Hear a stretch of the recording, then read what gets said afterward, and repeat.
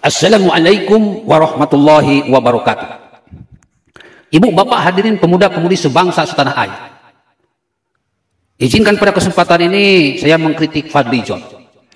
Yang mana dia mengucapkan selamat kepada Anies Baswedan karena angka positif COVID sudah turun di DKI Jakarta. Mendengar hal ini kita tersenyum-tersenyum saja bro. Mendengar hal ini kita tertawa-tertawa saja bro. Karena pada faktanya ketika positif corona melonjak di DKI, Anies itu sudah jarang muncul di televisi, sudah jarang muncul di medsos. Semuanya dihandle oleh wakilnya.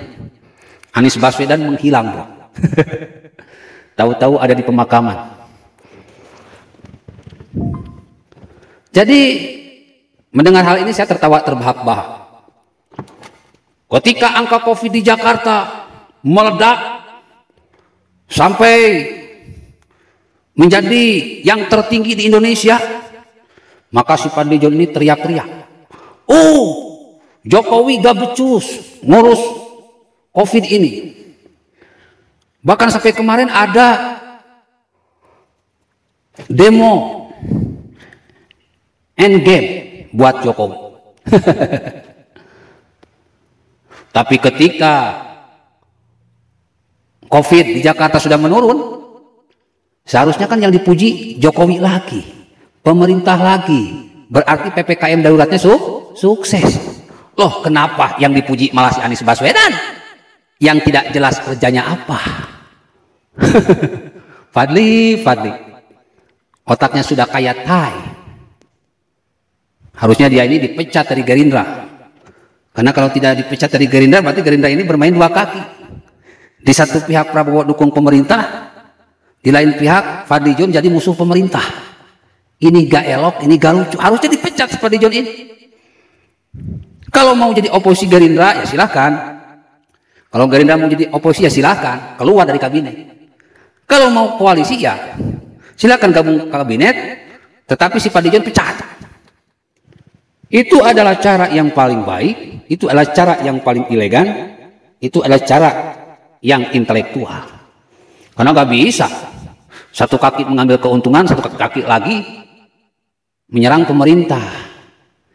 Dalam Al-Quran ini kelompok-kelompok yang kayak gini, partai-partai kayak gini disebut sebagai orang-orang yang munafik, orang-orang yang tidak konsisten, orang-orang yang zolim dan bodoh.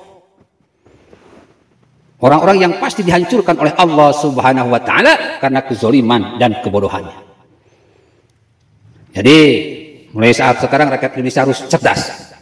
Harus mampu membedakan mana pahlawan, mana bajingan. Jelas kerja dari Jokowi yang begitu spektakuler dalam PPKM darurat ini harus diaplos oleh pemerintah oleh rakyat Indonesia sebagai sebuah keberhasilan yang nyata. Salah besar kalau kita menyanjung Anies Baswedan.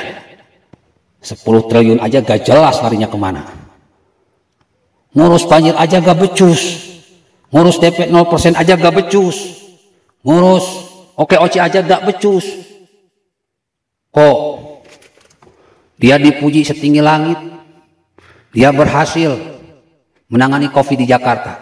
Padahal aslinya dia gak becus.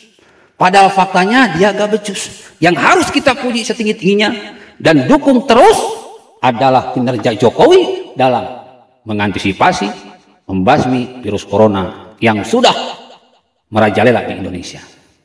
Bila itu topik Assalamualaikum warahmatullahi wabarakatuh.